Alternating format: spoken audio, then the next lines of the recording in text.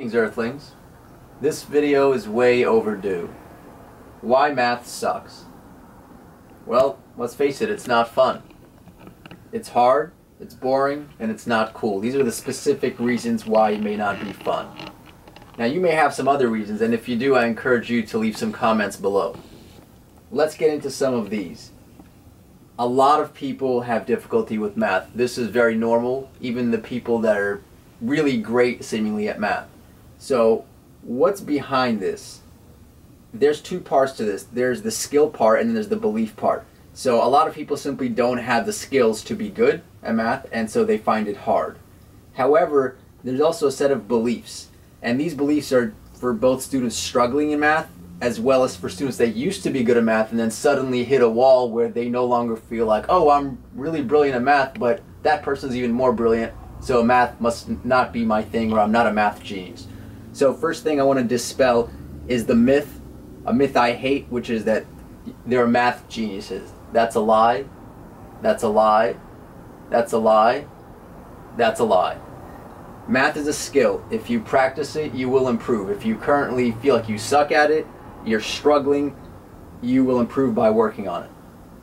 It's not like there's math people and people that aren't math people. That's a very, very harmful belief. Okay, second of all, and these are also things that I believe about you guys and I feel like you should believe about you, yourselves. I'm going to have very high expectations, as, as of course you should of yourself too. So in this course, which I'll talk about in a second, I'm not going to treat you guys like babies, so that's the adults part. I'm going to try to speak to you like the brilliant adults that you are because you guys are brilliant and awesome and great human beings. And if you don't feel that you are for some reason, which we have to work on, then as soon as you hit something that's hard, you might say, "Oh, well, I'm just not you know I'm not very very exceptional, so of course I'm not a math person." So all these are kind of beliefs that may hold you back. Now that said, everybody's gonna reach points that are tough. So in fifth grade, I remember I cried for two weeks because I couldn't understand negative numbers. So some people feel like that all the time every year. So it's going to depend on the person what their background is. So that's the part about things being hard. Also, if things are hard, they're not very fun because if you, let's say, if you're suck at basketball and you keep losing every time you play, you're oh, you know you're not picked for the team. Who wants to play? So Whereas a lot of people say, hey, video games are so fun because as soon as you start playing, you learn the controls quickly, you can do something. But if you can't do anything, if you feel like you're always the last person in the class or you're, you're always not getting a good grade, whatever it is, things stop being fun when you feel like you're not good at them. So this is a really big factor why it may not be fun. Now, this one affects, I feel, everybody. If you've ever spent one day in any school, you've probably felt bored. This applies to students that are maybe a little behind, students that are sort of doing average, students that are really advanced. At some point, everybody's going to feel bored.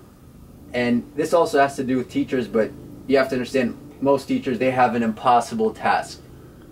They, they have to try to get most of the students prepared. So inevitably somebody's going to be prepared earlier, somebody's not going to get it, and so at some point a lot of the students will feel bored and we're going to try to help change that in this course. And third of all, it's not cool whether uh, it's just popular culture or that's just your perception or you've seen people that do math and you're like, hey, I don't want to be like one of those. That's unfortunately something that you may feel now, but we're going to change that as well. So we're most directly going to attack this number one point, which is getting you guys the skills and also starting to work on the beliefs. So this number two and number three hopefully these can creep in. So now let's segue into the Art of Math course. I want to help get you guys both the skills so you don't feel that it's hard, but just know that even if you do feel that it's hard, that's not the end of the world. At points, everybody has tough points or points where they're stuck. So you will succeed. So I promise you guys, you will succeed.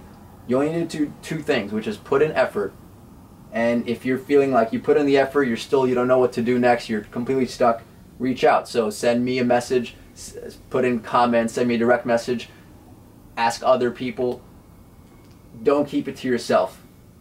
And the other thing is, this course is designed to give you guys the power. It's designed to empower you guys so you, there's a lot of things in your life you may not be able to control, such as um, who your who your family is, what your current skill level is, how much money they make, what country you live in, uh, what uh, so many things. But what you can control is your process and your learning and what you know. So the work you put in, that's something that nobody can take away from you.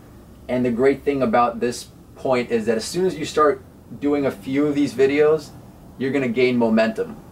Which means even if you feel like, hey, it's still hard, it's still sort of boring, it's still sort of wacky and not cool, that we might start to chip away at that and it might be a lot faster than you think. So the good news is you guys are very close. The difference between going from these to feeling that it's not hard, that you you have some solid skills under your belt, or that it can't it can be doable if you just put in some work, that it's actually not just boring, but it's fun and beautiful, and that's why there's the title of the art of math, and not just math, math for robots and people with no souls.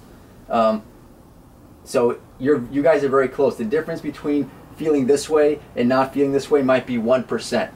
So that has to do with feeling this power too. So with a little bit of momentum, stay tuned. That will quickly start to turn around for a lot of you guys. And if you also if you feel like, hey, I don't have these problems, I just want to be challenged further. Even the people, folks that really want to do more math, they're not, you know, they're often bored as well. So we want to make them not bored and focus on this art. So no matter where, what your background is, like you're struggling, you're sort of average, you're open-minded, uh, I'm open to learning more, or you really just want to be pushed further and just ready to jump in knee deep, uh, not knee deep, but deep into the pool, this will try to hit all of those levels and backgrounds.